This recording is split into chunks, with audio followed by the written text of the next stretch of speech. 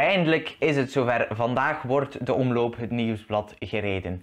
En ik blik met heel veel plezier voor u vooruit op deze eerste klassieker op Vlaamse bodem. Welkom! Ja, en laten we beginnen met het parcours van de omloop. De omloop is net geen 200 kilometer lang. Er zijn 13 hellingen en 7 kasseistroken. En in 2018 is de finale drastisch veranderd. De aankomst ligt nu in Ninove in plaats van in Gent. In 2018 lag de aankomst zelf nog in Meerbeke, zodat we de volledige finale hadden zoals die was in de Ronde van Vlaanderen tot en met 2011. Met dus de muur van Gerardsbergen en de Bosberg als sluitstuk.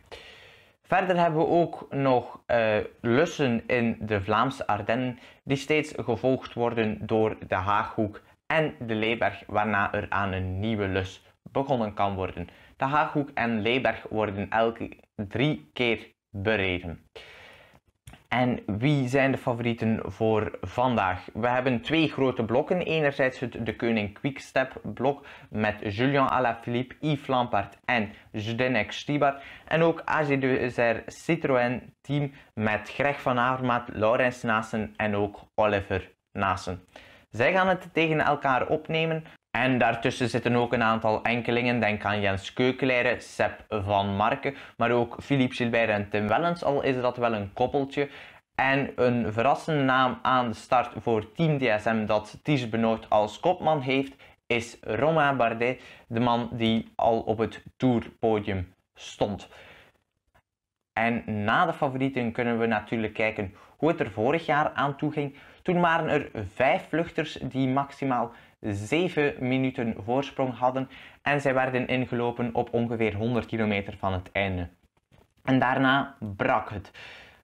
Er kwamen waaiers en uiteindelijk reed een groepje van een 5, 6, 7 tal renners weg. Hier zien we Krauw Andersen die de overname vraagt aan Frison. Mike Teunissen zien we ook in dat groepje zitten. Jasper Stuyven, Matteo Trentin en Yves Lampaard. En dan gaan we naar de muur waar Stuyven en Lampaard versnellen. Krak Andersen moet lossen, maar zal later nog terugkomen. Trentin die moet afhaken en hier komen Stuyven en Lampaard samen over de top. Andersen komt dus nog aansluiten en in de straten van Ninove valt Lampaard aan. Andersen moet lossen, Stuyven kan de sprint aangaan met Lampaard. Stuyven is ook intrinsiek sneller, dus dat zou logisch moeten zijn dat hij wint. Lampaard zet wel als eerste aan, maar het is uiteindelijk toch Stuyven die aan het langste eind trekt en de overwinning binnenpakt. Krauw Andersen werd derde op 6 seconden.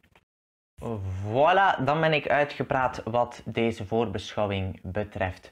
Juist nog dit, de wedstrijd is live te volgen op Sporza op 1 na het middagjournaal rond de klok van 13.30 uur zal dat dan zijn.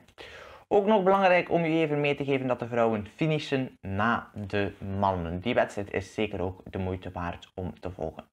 Als u deze video leuk vond, like deze dan zeker en abonneer u zeker op dit kanaal voor op de hoogte te blijven van nieuwe voorbeschouwingen of analyses. Hopelijk tot later. Dag.